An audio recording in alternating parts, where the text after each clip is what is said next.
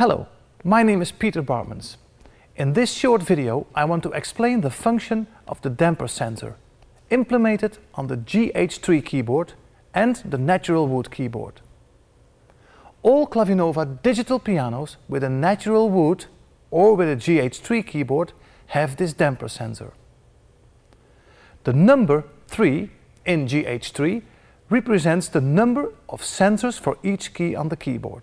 So, there are three sensors for each key. On common keyboards, you will find only two sensors. Now the third sensor is the damper sensor, only found on Yamaha Clavinova digital pianos. Thanks to this damper sensor, you get a perfect piano touch and a repetitiveness matching the one of a concert grand piano. To make the function of the damper sensor clear to you, let's see what happens when you hit a key on an acoustic grand piano. Here I have a sample of a grand piano action. As you can see, the moment I press the key, the damper is released from the string, so the string can swing freely. If I release the key, the damper falls back on the string, so the tone is muted. Otherwise, the string would continue to swing and I wouldn't be able to play very short or staccato tones. The tone would only stop until the string stops swinging in a natural way. When you press the sustain pedal, this is what happens.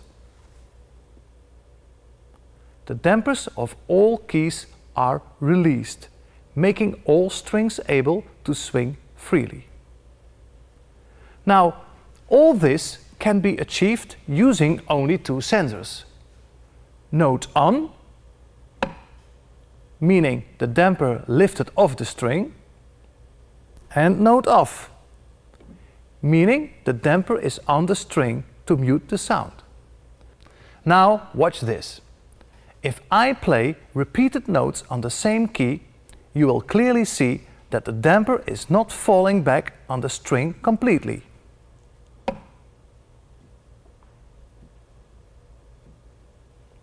This is because I hit the key again before it comes back to the upper position.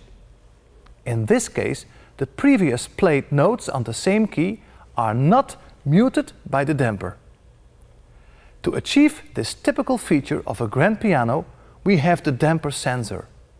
It allows the player to hit the key again before it comes back to the upper position and, what's more, and even more important, the previous played note or notes are not muted by the damper. Let me show it to you on the CLP 340, which has a GH3 keyboard with synthetic ivory keytops.